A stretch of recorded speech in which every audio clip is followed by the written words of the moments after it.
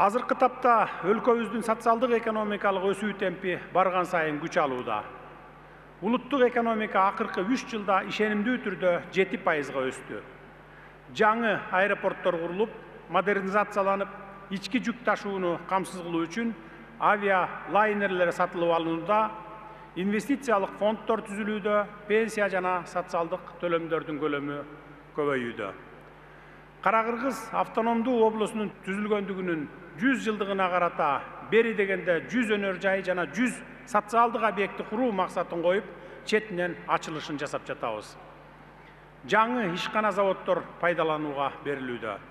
мынакей кечээ сиздер менен чогуу бир топ өнөр жай ишканалардын чакан кестердин жана мектептер менен бала бакчалардын ачылышына күбө болдук мындан сырткары камбар ата бир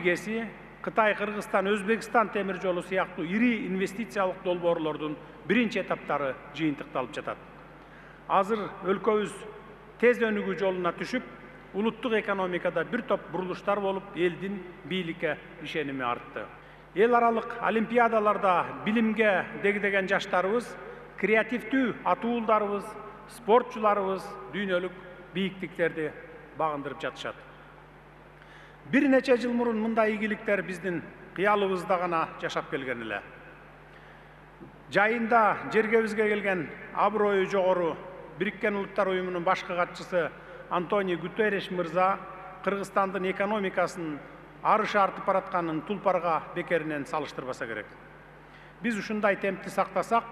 кыргызстан жакынкы келечекте дүйнөдөгү ийгиликтүү өлкөлөрдүн катарына кирет деген бекем ишеничибиз бар